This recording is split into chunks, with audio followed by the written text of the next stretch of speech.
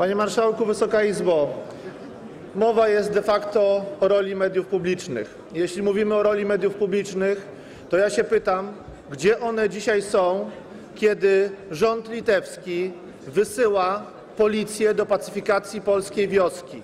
Kiedy rząd litewski wysyła pacyfika do pacyfikacji polskiej wioski, w której zamieszkuje 500 Polaków, dziewieniszki na Wileńszczyźnie, tylko dlatego, że ci Polacy protestują przeciwko osiedlaniu w ich wiosce między jedną szkołą a drugą tysiąca islamskich imigrantów.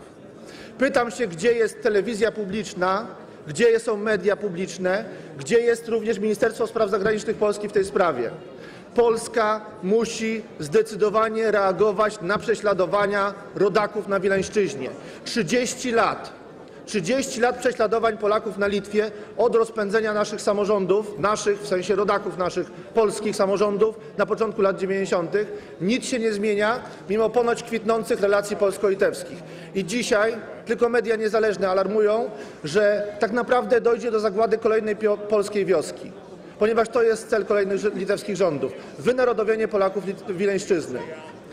Tysiąc islamskich imigrantów w 500-osobowej wiosce. Żądamy stanowczej reakcji polskiego rządu na te haniebne działania strony litewskiej. Żądamy, żeby Rzeczpospolita Polska upomniała się o rodaków na Wileńszczyźnie.